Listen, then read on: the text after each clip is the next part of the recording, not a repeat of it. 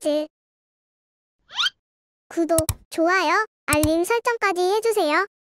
1. 프로필 활동명은 조보아, 본명은 조보윤으로 1991년 8월 22일생 대전광역시 출신 배우입니다. 팔다리가 길쭉길쭉하게 길어서 대부분 키가 클 것이라고 예상하지만 직접 밝힌 키는 165cm입니다. 연기 인생 10년차를 넘긴 조보아는 사실 배우를 꿈꾸기 이전에 항공승무원의 진로를 꿈꿨었다고 합니다. 대학교를 항공관광학과로 진학하였지만 배우라는 직업에 관심이 생겨 부모님의 반대를 무릅쓰고 성균관대학교 연기예술학과로 다시 입학했습니다. 또한 조보아는 B2B 뮤비 출연 제의가 들어왔을 때 바로 수락했다고 할 정도로 B2B의 엄청난 팬이라고 합니다.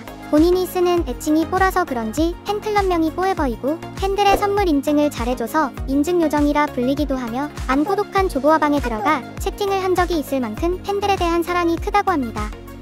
2. 작품 활동 2012년 TVN 닥치고 뽐미남 밴드 인수아 역으로 정식 데뷔해 주말 드라마 부탁해요 엄마에서 천천히 인지도를 쌓아나가다가 사랑의 온도에서 열등감으로 주인공을 괴롭히는 악역을 맡아 눈도장을 찍고 드라마 복수가 돌아왔다에서 섬세한 감정선을 보여주며 연기력을 입증했습니다.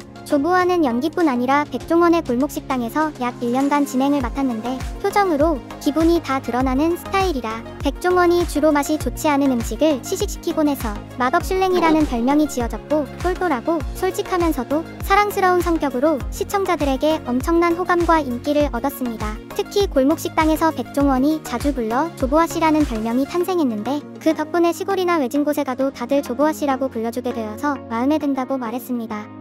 조보아 씨, 조보아 씨, 조보아 씨.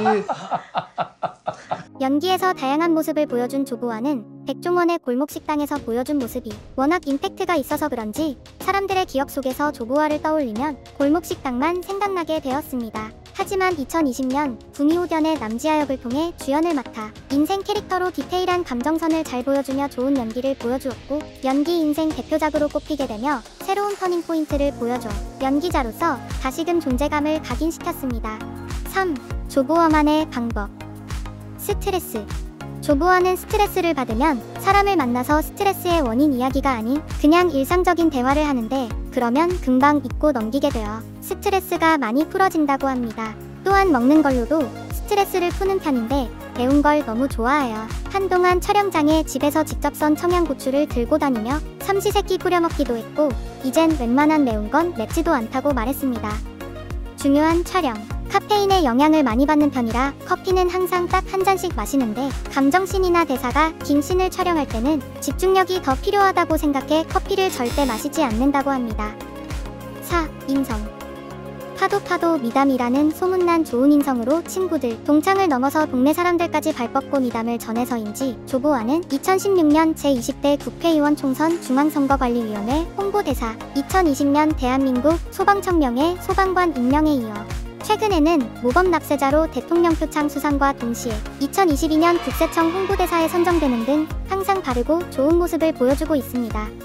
TMI 배우 외길만 걸었을 것 같은 조보아는 알고 보면 JTBC 아이돌 발굴 오디션 프로그램 메이드 인 유에 참가했다 탈락했었는데 그 당시 IHQ 소속사 대표이사가 심사위원으로 조보아의 재능을 알아보고 러브콜을 보내 계약을 했다고 합니다. 또한 골목식당을 통해 요리에 감각이 있고 잘할 것처럼 느껴지지만 사실은 요리를 좋아하거나 잘하는 편이 아니고 미각 후각이 둔한 편이었는데 골목식당을 통해 발달했다고 더 좋아졌다고 말했습니다. 현재 방영하는 군검사 도베르만에서 복수를 위해 군검사의 길을 선택한 차우인 역을 맡아 쇼컷으로 변화를 주고 새로운 모습으로 연기 변신을 보여주며 배우로서 다양한 모습을 도전하는 배우 조보아의 멋진 활동을 기대하며 오늘 영상은 여기서 마치겠습니다. 감사합니다. 구독, 좋아요, 알림 설정까지 해주세요.